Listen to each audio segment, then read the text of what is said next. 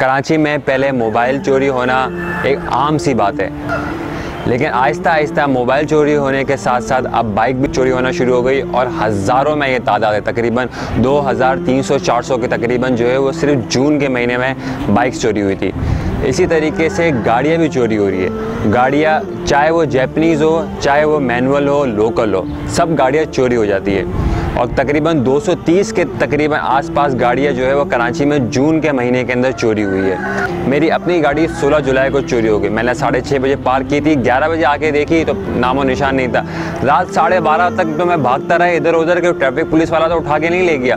फिर मैंने क्या किया, जो इलाका पड़ता था, यानी कि मैंने मशरक सेंटर डीसी ऑफ़िस के बाहर खड़ी की थी तो वहाँ पर पड़ता था new town police station. New town police station गया, वहाँ के अंदर मैंने अपनी कंप्लेन की, उन्होंने कच्ची पर्ची काटी और मुझे दे दी, ठीक है? उन्होंने कहा कि हम हर जगह ऐसे शाउट कर देंगे कि आपकी गाड़ी चोरी होगी। मिल जाएगी, बोले कि मिल जाएगी, कोई मसला नहीं है। सीएनजी के लिए उठाते हैं सीएनजी नहीं है आपकी गाड़ी में तो वो छोड़ देंगे, कहीं ना कहीं छोड़ देंगे। बोले अच्छा ठीक है, सही है। अब मुझे अपनी गाड़ी चाहिए थी तो मैंने रात और रात, यानी कि डेढ़ बजे तकरीबन सी पी एल सी को कॉल की और सी पी एल सी को कॉल करने का मैंने बताया कि देखें मेरी गाड़ी चोरी होगी तो उन्होंने बोला कि आपकी कंप्लेन हमने लिख ली है। जैसे ही हमें पुलिस स्टेशन से कन्फर्मेशन आएगी तो हम फिर अपनी तहकीकत जारी शुरू करेंगे।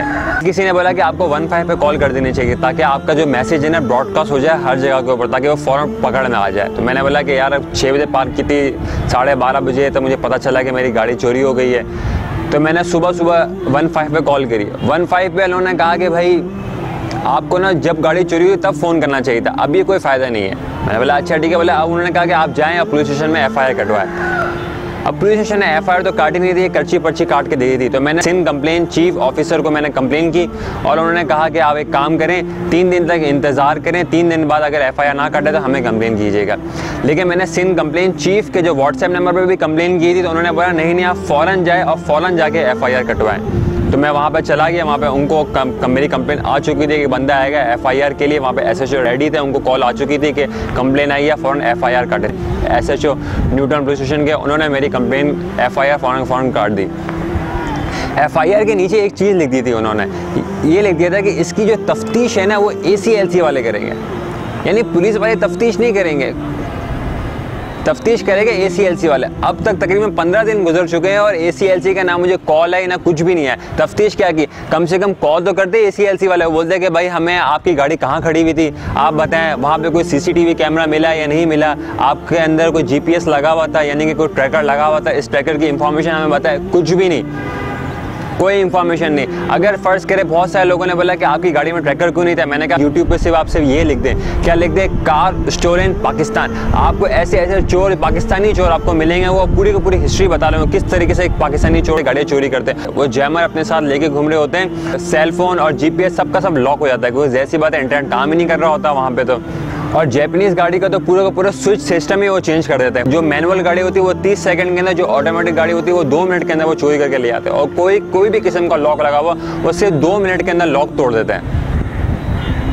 अब अफसोस की बात यह है कि पंद्रह दिन से ज़्यादा हो गए, गाड़ी तो मिली ही नहीं। और ऐसे पता नहीं कराची में कितने लोगों का इंसिडेंट हुआ होगा। बाइक तो ऐसी चोरी हो रही है कि कोई पूछने वाला ही नहीं है। सिर्फ़ मेरी ये दरख्वास्त है कि काइंडली जिस तरीके से आप लोगों ने हेलमेट का क्रैक डाउन किया, इसी तरीके से गाड़ियों को भी क्रैक डाउन करें और जाके चेक करें कि ना कितनी गाड़ियाँ चोरी हुई है।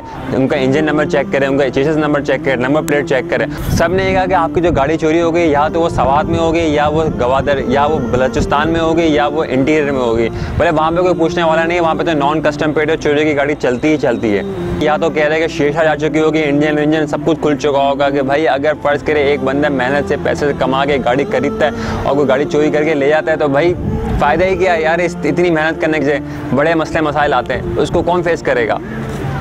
मैं अपनी गाड़ी जो है ना अपने ऑफ़िस के बाहर भी खड़े करने से दस बार सोचता हूँ। फ़ौरन गाड़ी खड़ी करता हूँ, फ़ौरन भागता हूँ, क्योंकि कहीं मोबाइल चोड़ना आ जाए, मुझे लूट करना ले जाए। रात में जब मैं गाड़ी में बैठता हूँ तो फ़ौरन गाड़ी में बैठता हूँ, फ़ौरन भगाता हूँ। पहले तो गाड़ी में बैठने तक का डर और गाड़ी गाड़ी का डर। मैंने कहा, डर ही कराची में बंदा रहेगा तो वो डर के हमारे ये रह रहा है। मतलब ना मोबाइल की सेफ्टी है, ना सिस्टम की सेफ्टी है, ना गाड़ी की सेफ्टी है, ना बाइक की सेफ्टी है।